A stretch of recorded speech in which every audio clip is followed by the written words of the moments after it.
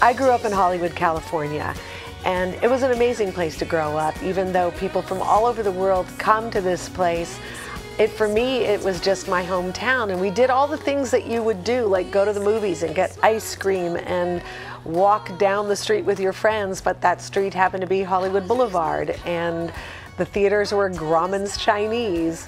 And yet, uh, my parents raised me with great small town values. My dad was Bulgarian and my mom was Greek, and they were immigrants, and I'm a first generation American.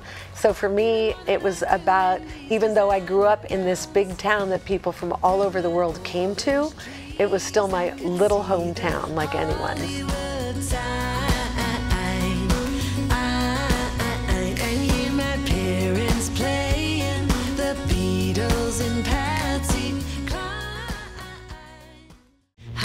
Blue collar, a bartender's daughter.